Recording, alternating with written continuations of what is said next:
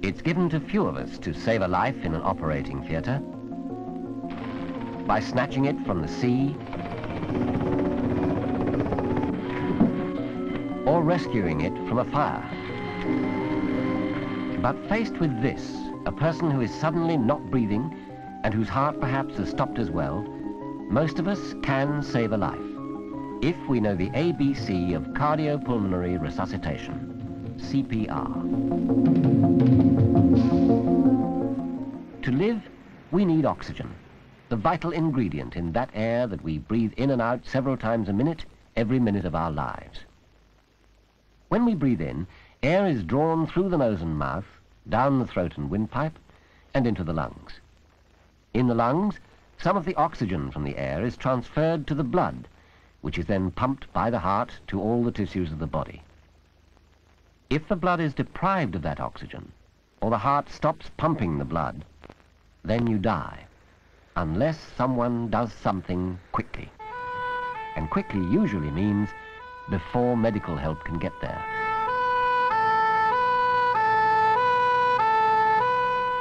You can be deprived of oxygen by drowning, by breathing gases or fumes that contain little or no oxygen, by suffocation, or by choking on your own tongue while you're unconscious. It often happens in accidents. You can't breathe if a heavy weight is on your chest. And there are certain drugs which interfere with the nerves which control breathing. But whatever the cause, if breathing stops for more than three minutes or so, the heart stops as well. In electrocution, the nerves which control breathing and the heart can be paralyzed simultaneously. With an unconscious person, act quickly without panicking. Listen for breathing and feel for it with your cheek while watching the chest. If he's not breathing, then support the nape of his neck, tilt his head backwards, extend his neck, and pull his chin forwards.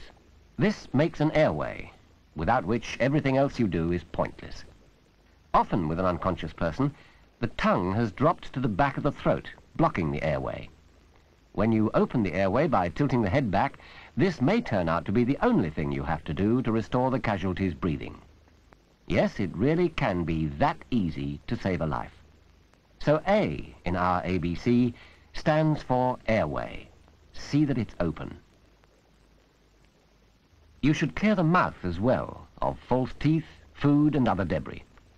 And if he is now breathing, tuck the arm nearest to you under his body, cross his ankles, then gently roll him towards you.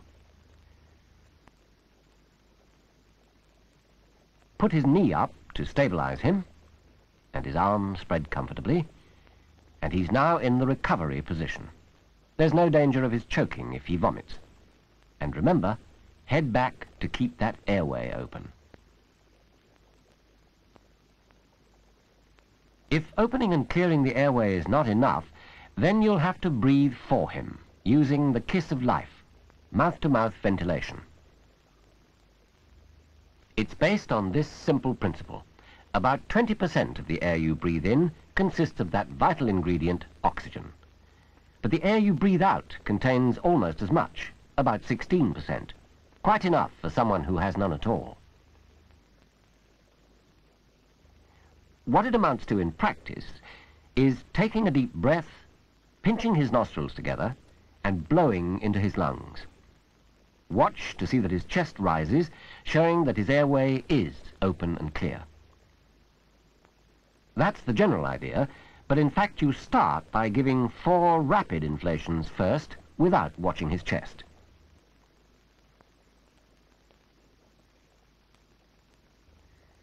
After that, build up a rhythm, watching the chest all the time.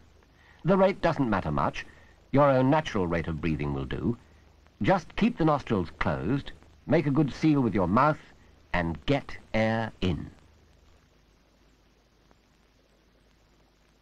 You can, if you like, close his mouth instead and breathe through his nose, a technique often used with children, or if the mouth is injured or inaccessible. Just get air in. As soon as you detect spontaneous breathing, Put him in the recovery position. Let's look at a real-life example.